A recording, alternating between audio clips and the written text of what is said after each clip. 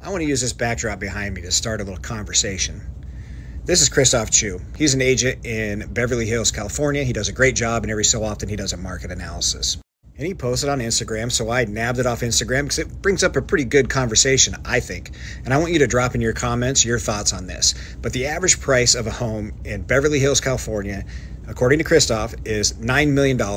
Nine we know that is a ton of money. But more importantly, and the thing that sticks out to me is the average price per square foot is $1,254 a foot. To me, that's insane. Now, I live in Iowa. In Des Moines, Iowa, our price per square foot, our average price per square foot is anywhere from 200 to $225 a foot.